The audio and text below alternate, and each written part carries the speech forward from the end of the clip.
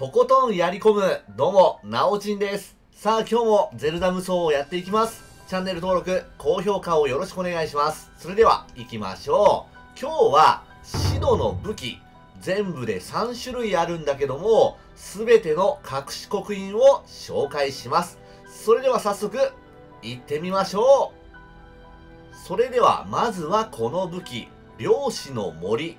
一つ目の隠し刻印が攻撃速度5%アップ。二つ目がダッシュ攻撃ダメージ22%アップ。攻撃速度が上がるのは単純に強いので、これは最高。そして、ダッシュ攻撃ダメージ22%アップ。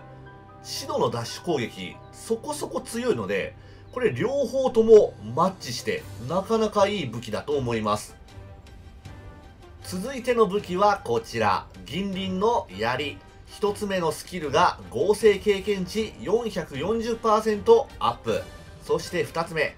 通常攻撃の最後がクリティカル攻撃になる。まず、通常攻撃の最後がクリティカルになる。これはかなり微妙。さらに、合成経験値アップして、どうするの？これ。それでは最後、祭事の槍。一つ目、通常攻撃のダメージが9%アップ。そして、注目中の敵へのダメージ10%アップ。注目中のダメージアップ。これは最高。そして、通常攻撃ダメージ。これも良かったんだけども、強攻撃のダメージアップの方が、シドには合ってたかな。でも、3つの中で、一番これが攻撃的かな。はい。ということで今日はシドの武器、全3種類の隠し刻印紹介してみました。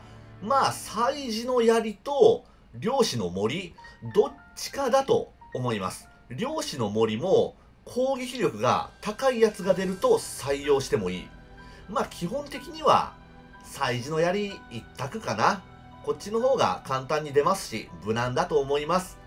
では、また出していきますので、チェックをよろしくお願いします。そして、チャンネル登録と高評価もよろしくお願いします。それではご視聴ありがとうございました。